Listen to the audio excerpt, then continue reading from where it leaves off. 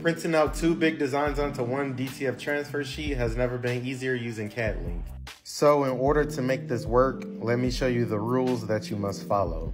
So this is an A3 transfer. Both of your designs must be small enough to fit in between the dimensions of this page, which is a 11.7 by 16.5. So if you have two designs, the maximum width that they can go across is about 11.7 inches, maybe 11.5 inches. And the maximum height for both of these designs should be maybe seven inches up and down and another seven inches up and down, which will take up about 14 inches of space on this page. You can also follow this same rule if you have multiple small designs. You can put them all next to each other going across and up and down on the page.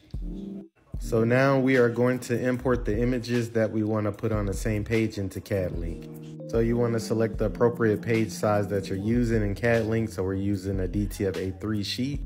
And now I'm just uploading our first design here. So here at the bottom, you can see our current dimensions that we changed our first design to, and now we're gonna upload our second design. So now when we have uploaded our second design, it will be on a separate page. It should go to a page maybe directly underneath. So if we go by our first rule, both images must be small enough to fit onto the same sheet. So I am just going to adjust this image here to make it a size that can fit directly underneath our image that is up here at the top page. So I have just adjusted our image to be small enough to fit directly underneath our image up top. This image here is 5.90 by 6.08 inches. So remember that whichever designs that you choose to use and the size you plan to press onto your garments must both equal a size that is the same or smaller than your DTF transfer sheet for them both to fit. So now our designs are ready to be merged together onto the same page. So if you click this tab right to the left of the job tab, you'll see this nest all feature here that is located in the page tab. So when you go to nest the page, you'll see this automatic nesting message that states nesting all content will cause all current layers to be lost. So now once you confirm yes to the nesting all, you'll see that your design has been sent to the same page as your original design.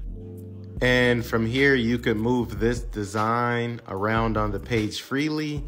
And maybe if you had a design that was small enough to fit to the right in this empty space, you would be able to fit a third design. So I will be adding this last logo here just to show you how to fill in that extra space. So now we will nest all again.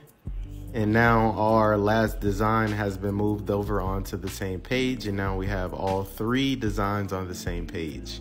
So this is good for maximizing your DTF transfers. That way you can get the most out of your transfers without wasting the excess by just printing only one design. You could print separate designs onto the same page. So now you can just click the top page, which is the original page that you merged all your designs into, and then I'll print this out and show you the final result. This is our final result after printing our transfer. As you can see, all of our designs were successfully merged onto one page. This is how you can utilize the maximum space on your DTF transfers and get the most out of each sheet.